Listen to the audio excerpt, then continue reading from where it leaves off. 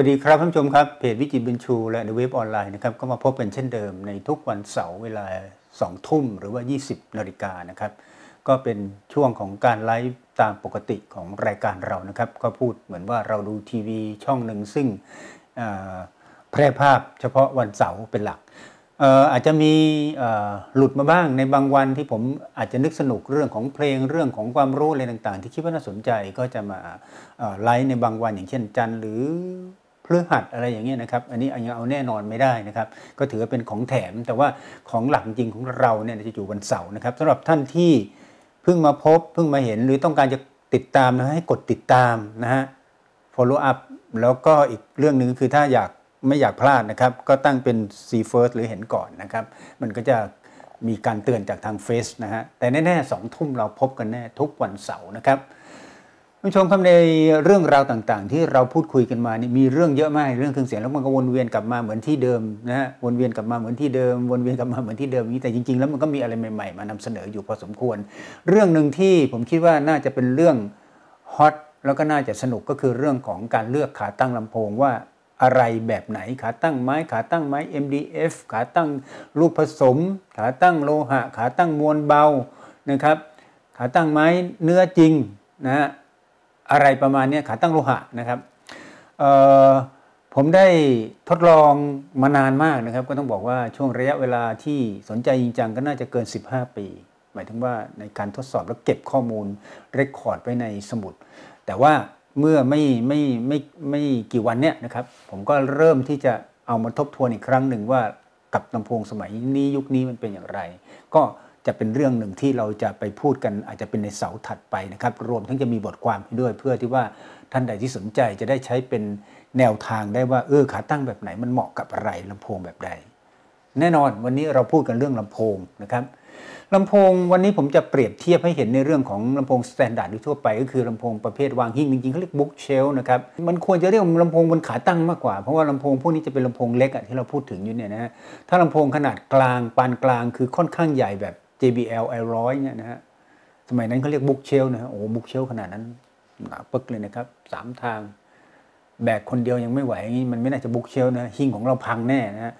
ก็เอาเป็นว่าเป็นลำโพงบุ๊กเชลแต่วางบนขาตั้ง นั่นคือประเภทหนึ่ง แล้วเปรียบเทียบกับลำโพง ซึ่งเป็น floor standing หรือวางบนพื้น ซึ่งท่านจะเห็นว่าผู้ผลิตลำโพงทั้งหลายในเวลาออกซีรีส์มาสมมติซีรีส์ S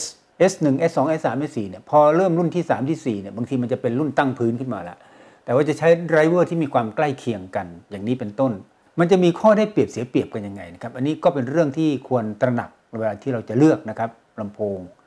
ผู้ชมครับห้องเนี่ยถือเป็นเรื่องสำคัญ ผมแนะนำเลยนะครับว่าถ้าถ้าห้องไม่ใหญ่มากเนี่ยนะครับ พยายามหลีกเลี่ยงการเล่นลำโพงตั้งพื้น เพราะว่าลำโพงวางบนขาตั้งเนี่ย set up แล้วมันสนุกกว่านะครับเดี๋ยวจะเราเปรียบเทียบให้ดูว่ามันเป็นอย่างไรนะครับ แต่ถ้าอยากจะเล่นลำโพง ที่แหมมันมันโด่งดังมากมีชื่อเสียงมากพวก3ทับ5พวก Harbeth พวกมอนิเตอร์ 3.2 อะไรเงี้ยนะฮะ อยากเล่นมากเนี่ย ก็จำเป็นจะต้องหาขาตั้งที่ดีให้มัน แล้วก็ต้องเป็นขาตั้งที่เหมาะสมด้วยนะครับ เพราะนั้นเนี่ยวันนี้เราจะมาสรุปพอสังเขปกันในเรื่องของ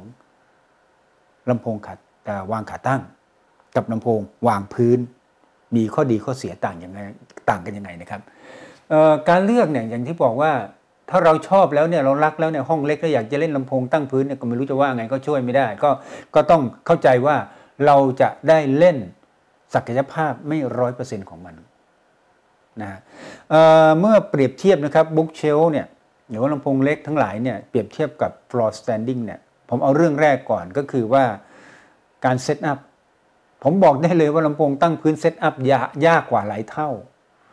ลำโพงวางบนขาตั้งเนี่ยลำโพงเล็ก ๆจำพวก3ทับ5ลำโพง P3 ESR ลำโพง Pro X แท็บเล็ตหรือว่าตัว Response ต่างๆเนี่ยนะครับที่เราเห็นอยู่ในตลาดลำโพงอย่างตัว PSB นะครับซึ่งเป็นรุ่นวางวางวางคิงหรือว่าลำโพง AE นะ Acoustic Energy เหล่านี้นะตั้งแต่ร้อยสามร้อยห้าร้อยพวกนี้เราต้องหาขาตั้งให้เขาเนี่ย มันเซตสนุกกว่ารุ่นที่ตั้งพื้น แล้วก็การเซตเนี่ยเราสามารถทำให้มันลงตัวได้มากได้น้อยเนี่ยตามใจชอบของเราเลย นี่คือข้อได้เปรียบของลำโพงที่เป็นบุ๊กเชลหรือลำโพงวางบนขาตั้งนะฮะในขณะที่ลำโพงประเภทที่วางพื้นทั้งหลายเนี่ยต้องบอกว่าวางพื้นแล้วเป็นเรื่องที่ขยับยาก เพราะว่ามุมมิติของมันพอเราวางเราวางลองนึกภาพดูเมื่อเราวางลำโพงลงบนพื้นเนี่ยถ้าเกิดพื้นไม่เรียบเนี่ย ความมั่นคงก็ไม่เกิด เพราะฉะนั้นเนี่ยเราก็ต้องมีตัวรองอะไรต่างๆ มารองให้มันพอดีที่จะรับ แต่ว่าลำโพงวางพื้นเนี่ย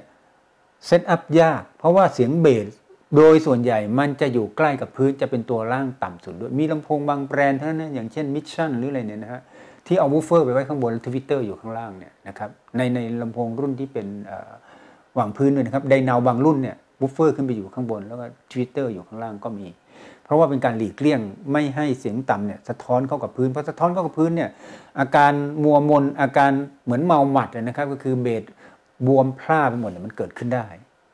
เพราะนั้นลำโพงตั้งพื้นจึงค่อนข้างเสียเปรียบในเรื่องของการ set up ว่าคุณจะต้องมีเวลา set up อยู่กับเขาเนี่ยนานกว่า แล้วก็มีความสลับซับซ้อนกว่ายุ่งยากกว่า หาตัวรองให้มันเกิดความมั่นคงได้ยากกว่าลำโพงวางหิ้งนะครับ แล้วก็ลำโพง ประเภทบุ๊กเชลทั้งหลายเนี่ยต้องหาขาตั้งที่ดี อันนี้ก็คือเป็นเป็นข้อเสียของมันเหมือนกัน ข้อเสียในข้อดี ถ้าหาขาตั้งไม่ดีเนี่ยมันจะยิ่งยากลำบาก ในขณะที่ลำโพงตั้งพื้นเนี่ยหาตัวรองที่ดีๆเนี่ยอยู่ๆปุ๊บปั๊บ เกิดจะเซตลงตัวมันก็อาจจะง่ายกว่าลำโพงที่เป็นวางหิ้งก็ได้นะครับ แต่โดยสรุปโดยรวมเนี่ยลำโพงวางหิ้งจะเซตสนุกกว่า ในขณะที่ลำโพงวางพื้นเนี่ยเซตยากกว่า เพราะว่าเบสเป็นตัวต้นเหตุของการพร่าบวมได้ง่าย โดยเฉพาะลำโพงตั้งพื้นที่ท่านผู้ชมต้องระมัดระวังมากคือ ประเภทที่มีท่อเบสออกด้านหลังนะฮะจัดดีไม่ดีนี่ทึบเอาง่ายๆนะครับถึงแม้ว่าบางแบรนด์เนี่ยอาจจะแถมตัวฟองน้ำมาให้อุดในกรณีที่มันชิดผนังมากๆเนี่ย มันก็ทำให้ลดเซนซิทิวิตี้หรือประสิทธิภาพของลำโพงไป เพราะฉะนั้นเนี่ยพิเคราะห์ให้ดีๆว่าห้องเราใหญ่พอไหมนะครับที่จะเล่นลำโพงทั้งสองประเภทนี้ ความเซตง่ายเซตยากเนี่ยนะครับโดยรวมลำโพงวางพื้นเซตยากกว่า แต่เมื่อลงตัวแล้วเนี่ยมันจะอยู่ด้วยคงทนคงที่กว่านะครับอันนี้มันก็เป็นข้อดีข้อเสียต่างกัน ในขณะที่ลำโพง วางบนขาตั้งทั้งหลายเนี่ยบางทีวันนี้เราเซตเซตไปประมาณ 7-8 วัน โอ้ลงตัวดีแล้วเนี่ยพอมันเบือนไปอีกระยะหนึ่งนะมันอาจจะมีการเลื่อนอีก เราก็ต้องมานั่งจับอีกก็คือต้องต้องขยับอีกว่าเอ๊ะทำไมเสียงมันไม่ดีเหมือนวันแรก ๆ ที่เซตไปก็มีเหมือนกันนะเพราะฉะนั้นถ้าเซตลงตัวแล้วเนี่ยลำโพงวางหิ้งที่วางบนขาตั้งเนี่ยก็มีโอกาสที่จะโยกย้ายได้ง่ายกว่า คือมีโอกาสที่จะต้องโยกย้าย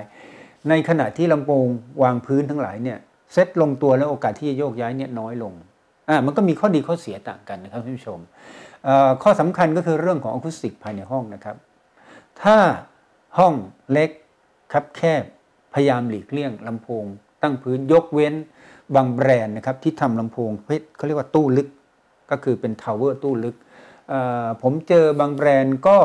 เป็นลำโพง tower ขนาดย่อมย่อม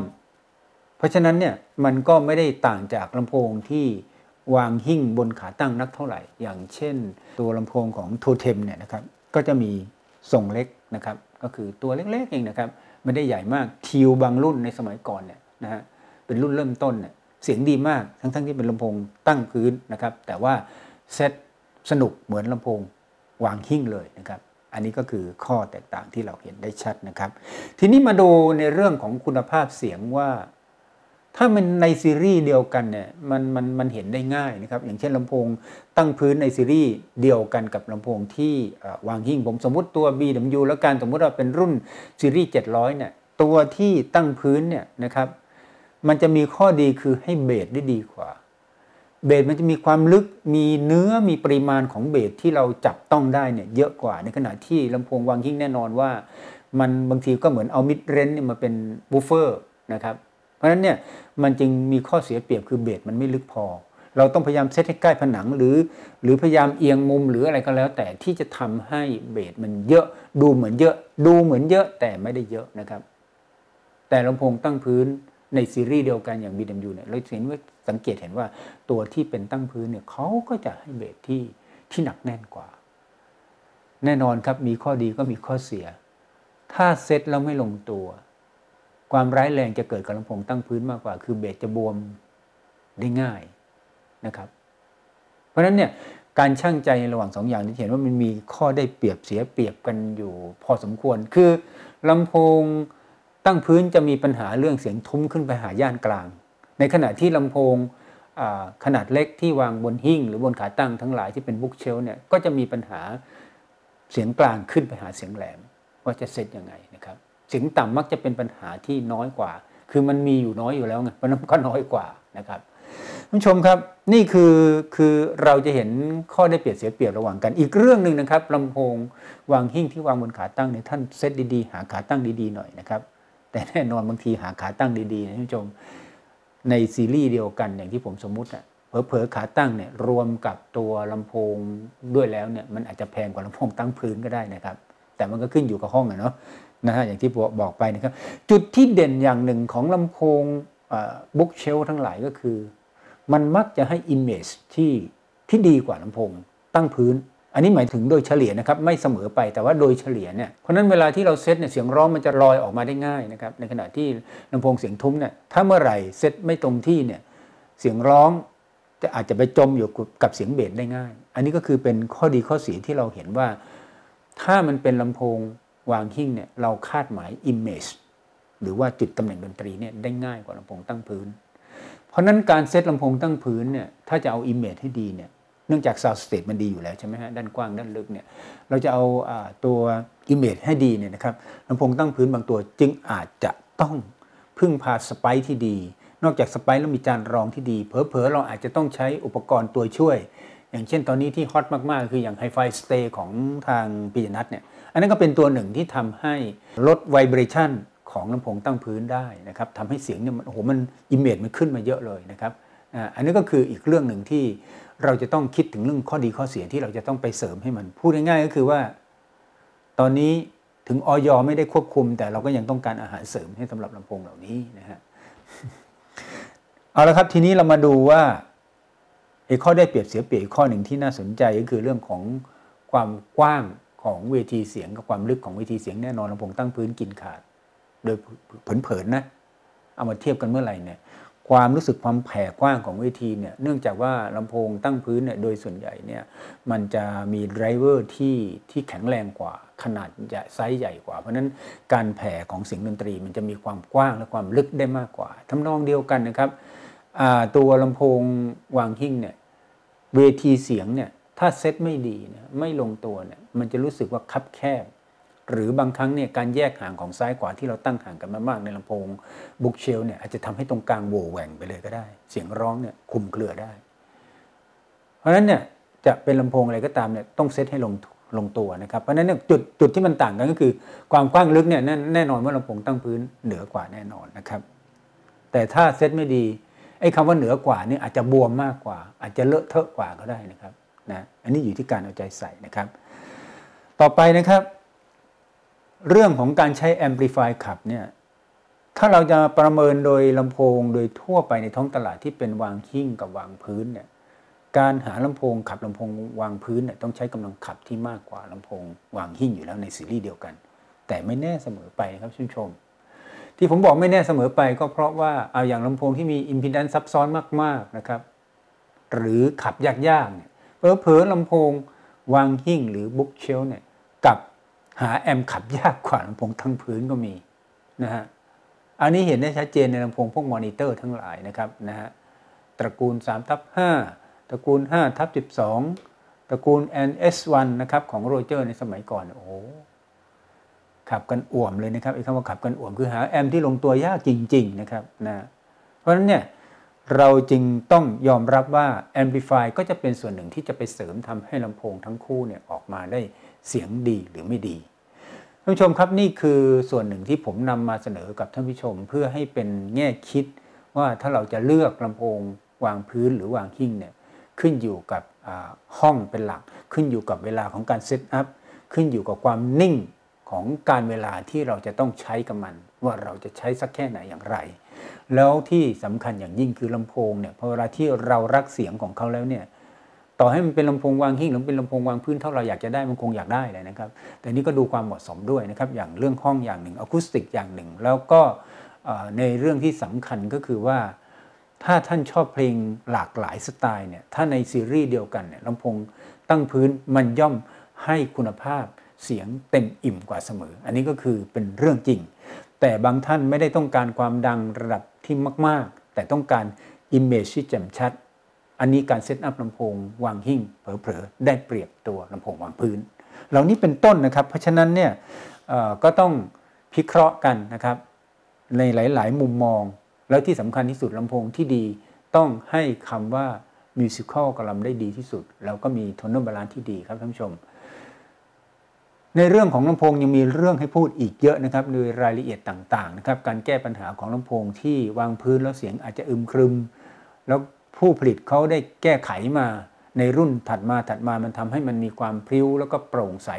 ใกล้เคียงกับลำโพงวางหิ้งก็มีนะครับเพราะฉะนั้นเนี่ยสิ่งที่ผมพูดมันไม่ใช่สิ่งตายตัวแต่โดยเขาเรียกว่า normally โดยทั่ว ๆ ไปมันมักจะเป็นแบบที่ผมพูดนะครับท่านผู้ชมครับไม่ว่าจะเป็นลำโพงวางพื้นวางหิ้งนะครับ สิ่งที่ผมอยากจะแนะนำทิ้งท้ายไว้ตรงนี้ก็คือ พยายาม setup ให้ลงตัวที่สุด พยายามหาอุปกรณ์ที่เหมาะกับเขาที่จะทำให้เขาเนี่ย vibration น้อยที่สุด อันนั้นแหละครับถึงจะประสบผลสำเร็จในการที่เราจะได้คุณภาพเสียงเต็มร้อยจากตัวลำโพงนะครับ ที่สำคัญเรื่องของสายจากแอมมายังลำโพง สายน้ำสัญญาณ สายไฟ สายลำโพง